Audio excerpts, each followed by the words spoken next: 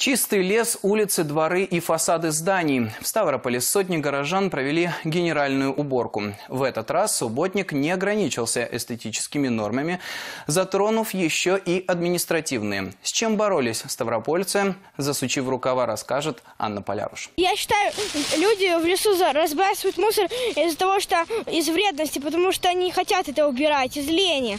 Стас проснулся сегодня в 7 утра, чтобы в 8.30 вместе с мамой выйти на субботник. На территории урочища Мамайская лесная дача пластиковые бутылки, пакеты и другие следы пребывания отдыхающих собирают работники Комитета городского хозяйства администрации Ставрополя. Говорят, надеялись, что местные жители присоединятся к уборке, но добровольцев практически не нашлось. Здесь, э, видимо, идет тропа, и все отдыхающие, вот у нас такие люди, то что весь мусор, не забирая с собой, отдыхая, все сваливают в лес. То есть, ну, мы сейчас пришли, здесь убираем, наводим порядок.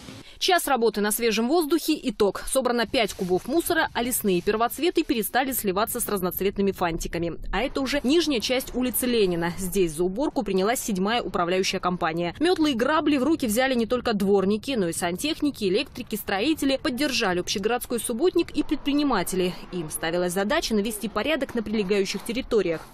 А, Вообще мы привлекаем всех строительных площадок, в первую очередь те, которые э, расположены по красным линиям э, на территории города. Вот, можем проехаться, посмотреть. Э, мы уже проезжали северо-запад, посмотрели, там тоже принимают участие. Но в первую очередь, конечно, нас интересуют красные линии и центральная часть города. Ограждение должно быть чистое, все должно затянуто быть сеткой, рабицей. А, должны быть нормальные, не порванные баннеры. А, территория должна быть убранная. Вся территория и строительной площадки, и прилегающей территории должна находиться в надлежащем состоянии.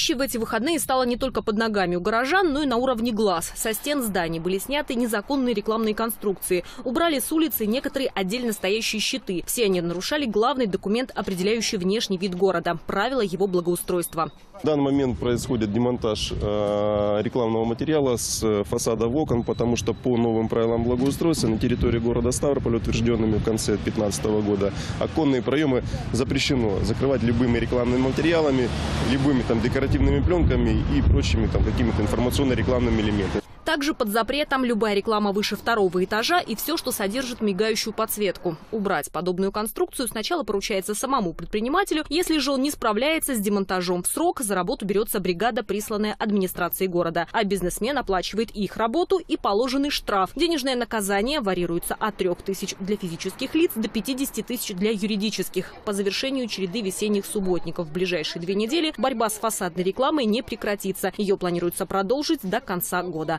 Анна Поляруш, Константин Шиляпин, Ставропольское телевидение.